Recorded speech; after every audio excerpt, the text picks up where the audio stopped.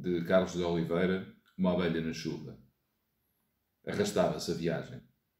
A morrinha parara, mas havia mais frio. Traçou o chaio de lã sobre a garganta, sempre aquilo. Colhia a um golpe de umidade e a voz, rouca de natureza, tornava-se inaudível. Só o calor lhe permitiria falar outra vez, desafogadamente. Passou de memória a sala do Montouro, com pinhas acesas e desfeitas no tijolo do lar. As conversas vagarosas. O grande candeeiro de petróleo com as senhoras debruçadas sobre as malhas. E ela, que em geral se azedava no pasmo daquelas noites, desejava-o agora de todo o coração.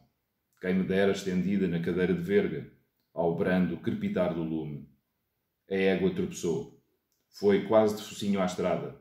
E o ruivo insistiu. Vai a trôpega, que eu já o disse. Deixa lá ir, respondeu Álvaro Silvestre da meia sonolência em que ficam os gordos quando viajam. A certas coisas rompia nela um velho fogo emborralhado à espera de o superarem.